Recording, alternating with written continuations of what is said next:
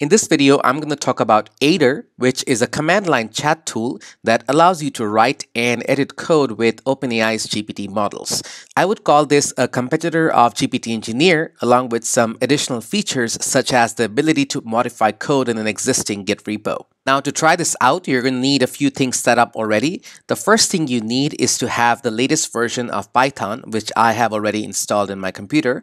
You also need pip, which allows you to download and install Python packages such as OpenAI or Aider. Additionally, you also need to have a paid account set up with OpenAI so you can use the GPT 3.5 or 4 API key. Now, if you don't have that set up, I have this video in this playlist called Sparks of AGI, and the video is called How to Set OpenAI Usage Limits. This is where I show you how to create a paid account. Now, this is not a subscription-based account. This is more of a usage-based account. So you're going to maybe spend a few cents to try this out. Now, if this is your first time to my channel, I want to welcome you and recommend you to join my AI newsletter. I'm still working on my website and a strategy on what will be most valuable to you to send in this newsletter newsletter. That's because I'm trying to make my newsletter more execution focused versus just new AI tools or new AI news. All right, let's get started. Now I'm going to use Visual Studio Code today. And if you don't have that installed, I'll have a link in the description. This is really good because you can both see the code that's being generated and also have a terminal in the same place. So you don't have to switch around windows going from terminal to your code base. I already have a folder called Aider created inside Testing GPT. This was created during my video of GPT Engineer, where I created this entire code base from one prompt. So make sure to watch that video if you haven't seen that already, so you can compare it with Aider to see how they're different. After that, I'm going to go inside the Aider folder. Now, the first step I need to do is to install the Aider chat library. So I'm going to copy that, paste it right here. Well, since I had already installed this before, it says requirement already satisfied for most of the required packages. The next step here is to export the OpenAI API key. Now, they recommend using GPT-4 for better performance, but unfortunately, I still don't have access to GPT-4, so it's going to switch back to GPT 3.5. For that, I'm going to go to my OpenAI account and create a new secret key. I'm going to call it Aider create secret key. And now all I do is to export that key. I'm going to copy this right here, clear this up, copy this right there, paste it, and press enter. All right, now that I have my Aider chat and OpenAI API key set up, I can just use Aider and then specify a file name or multiple file names that I want to work on. So I'm going to type Aider and the application I'm going to try building today is something which will calculate me the net income from my gross income based on a tiered tax rate. So let me call this net income calculator.py and press enter. Alright, it says API does not support GPT-4 and it's falling back to GPT 3.5 Turbo 16K. It's generating an empty file called netincomecalculator.py. I did not specify any specific GitHub repo. That's a different functionality. I'm going to show that in the future video maybe. And now I have this section right here where I can provide a prompt. This is where I tell Aider what I need.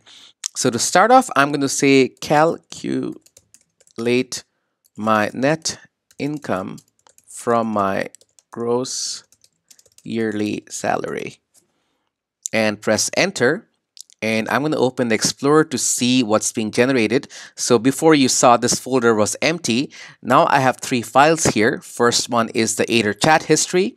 Next one is the Aider input history. This is where it keeps a track of all the prompts that I used to build this app. And the last one is the actual final application, which is the net income calculator. It says to calculate the net income from the gross yearly salary, you need to consider factors such as taxes, deductions, and other applicable expenses. I don't know why this was mentioned here twice because I think that might be a small bug that has nothing to do with Aider itself. It says, could you provide more information about tax rates, deductions, and expenses that should be taken into account? So I'm going to use this website where I find the German tax system and taxes in Germany. So they have this tiered system for the German income tax rates for 2023 where something which is less than 10,908 euros pays 0%. The next range pays 14 to 42%, and the next range is 42% on anything higher than 62,809, and then anything more than 277,826 pays 45% on that amount. So I'm just going to copy this tiered structure of taxes right there and paste it to my prompt. Based on the provided tax rates, here's an updated version of Net Income Calculator. It created this Python code that kind of takes all the things that I mentioned and the tax rates from 2023 and created the Python code out of it instantly.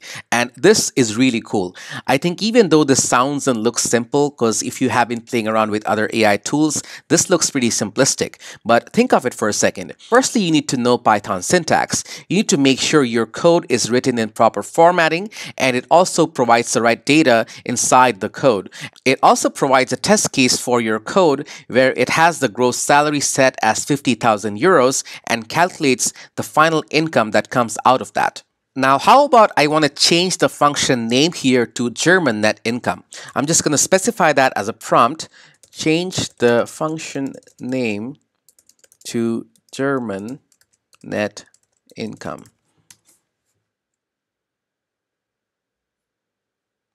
All right, it just changed the function to German net income just like I requested. And it also shows the line that it deleted and the line that it added. And this is really visual and really nice. All right, now that I have my information on what my final net income will be if I was in Germany, why not try a different country? And this time I'm going to use Norway as a country and the information about their tax rates as a paragraph instead of a table. And mind you, they don't use euros, they use Norwegian kroners. So what I'm going to do is request Aider to create me a new function to get the net income for a Norwegian salary, but I want the result in euros. So I'm going to copy this up right there and say create a new function for Norway as a country and the final result should be in euros. Alright, I have my new Norwegian net income calculator where it takes the gross salary and then finds the correct rate based on what the person is going to make and then also convert the net income into euros. And Aider just completes this seamlessly. I'm going to try this out to make sure this function works on generating the net income for Germany and Norway and also getting the final amounts in euros instantly in like less than a few minutes. What I see here is that the gross salary is run on the German net income and the Norwegian net income. There's a small assumption that is being made here because it does not specify whether 50,000 is provided in euros because if we input 50,000 as gross salary for German net income, it's going to give me the final result in euros. But the Norwegian amount is taking the amount and calculating the taxes on Norwegian kroners. So 50,000 is actually a low salary compared to euros in Norwegian kroners. So if we put 50,000 here, the final result will be much less because I didn't specify whether this is euro or Norwegian kroners. I also realized that I made a small mistake here.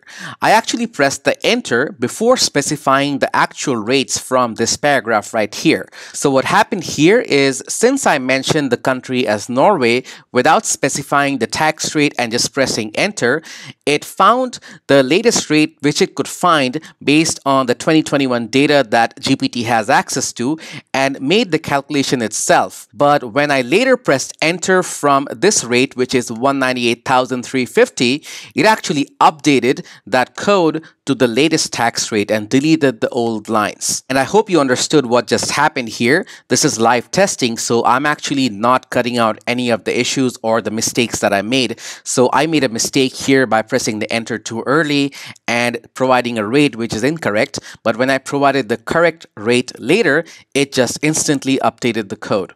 And that is really great. So I'm going to type Python 3 net income calculator.py.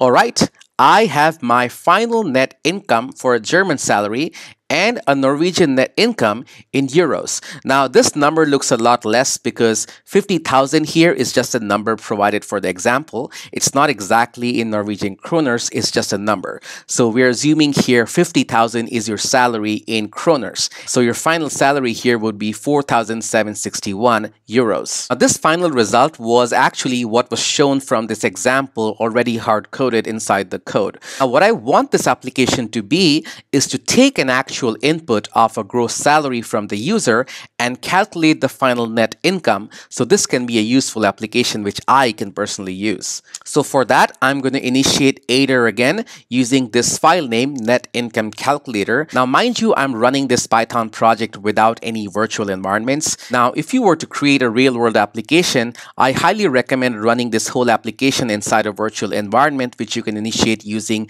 Conda or something else. But for the purposes of this video, I didn't even need to create a virtual environment. So, so I'm going to initiate Aider again. I forgot to provide the API key because that's required for this. I'm going to run this again and run Aider again. Now I had just created net income calculator, which is a Python project, and I had closed Aider and everything was done. Now I want to add some more data or information to this file. So now technically this is editing an existing project. That is a new functionality which Aider has, but GPT Engineer does not have. And, and now I'm going to provide a new prompt so I'm going to say remove the example, that is the one which was showing up and printing right here, and take the gross salary input from the user as a parameter. All right, my example just disappeared and it's taking the gross salary as an input from the user. Now let me try running the same thing without any input to see if it breaks. Perfect. It actually wants me to provide a gross salary, which I want to provide and get a net salary for. So I'm going to say 100,000 and it says could not find a string to float. It's because I provided a comma. That's incorrect. So I'm going to press this enter again and say 100,000.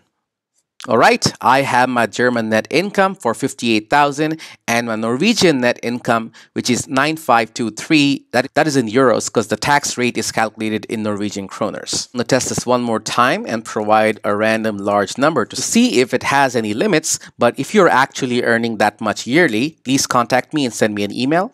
Press enter.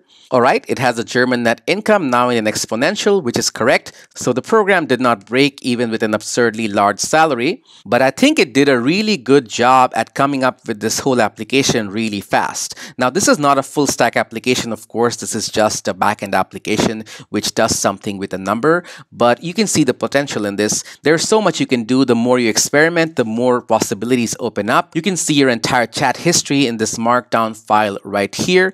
You can see all the prompts that you used. This is the first one that I tried. Then I provided the rates.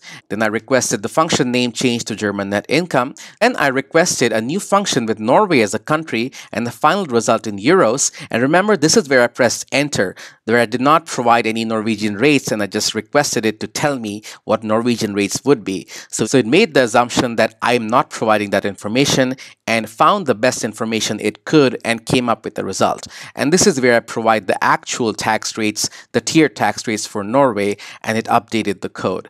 And then I requested it to remove the example and take the gross salary input from the user as a parameter. But that's all I have for you in this video. I hope you got some value from it. If you did enjoy it, make sure to subscribe to my AI newsletter and this YouTube channel and click like on this video. I have a lot more videos coming up. Till the next one, thank you so much.